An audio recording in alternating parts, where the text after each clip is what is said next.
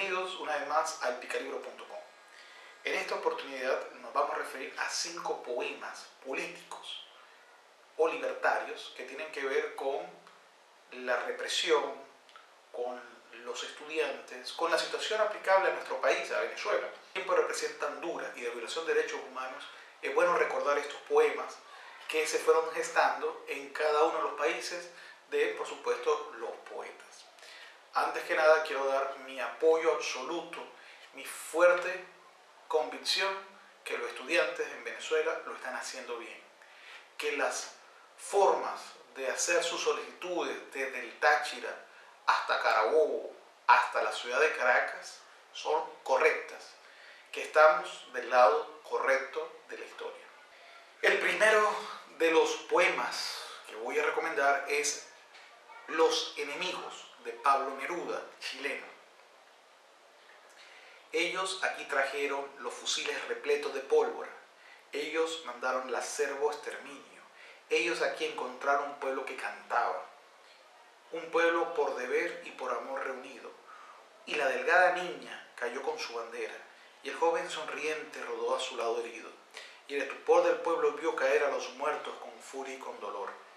Entonces, en el sitio donde cayeron los asesinados, bajaron las banderas a empaparse de sangre, para alzarse de nuevo frente a los asesinos. Por estos muertos, nuestros muertos, pido castigo. Para los que de sangre salpicaron la patria, pido castigo.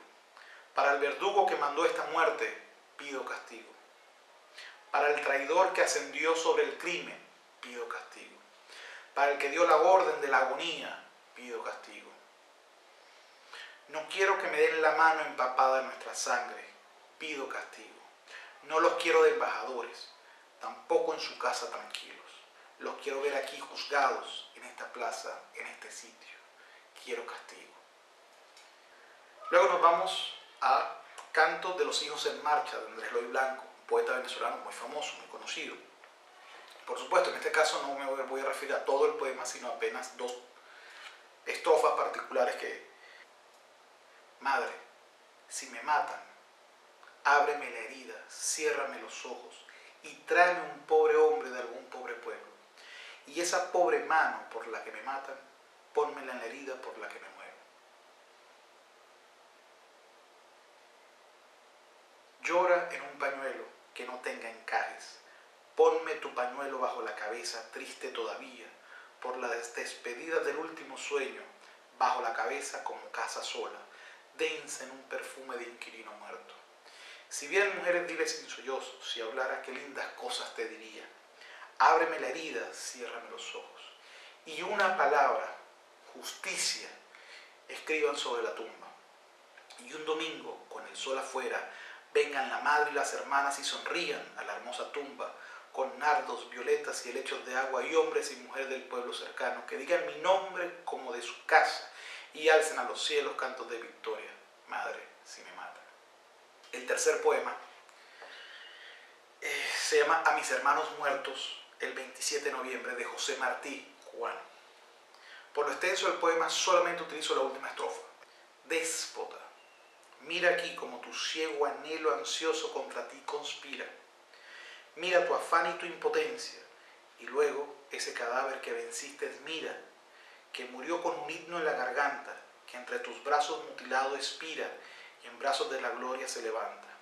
No vacile tu mano vengadora, no te pare el que gime ni el que llora, mata déspota, mata. Para el que muere a tu furor impío, el cielo se abre y el mundo se dilata. Continuamos con Mario Benedetti de Uruguay y su poema De que se ríe, seré curioso.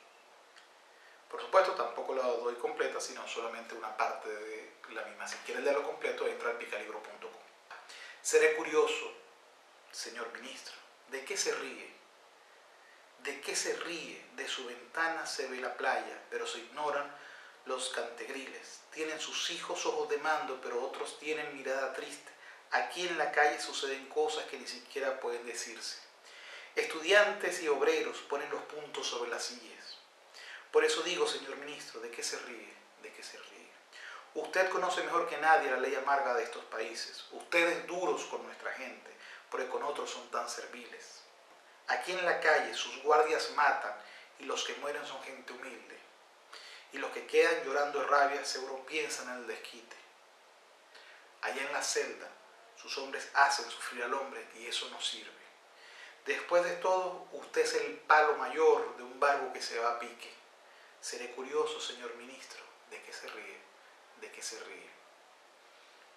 Y por supuesto, el último es Me gusta el estudiante de Violeta Parra, una cantautora chilena, ya fallecida, por supuesto.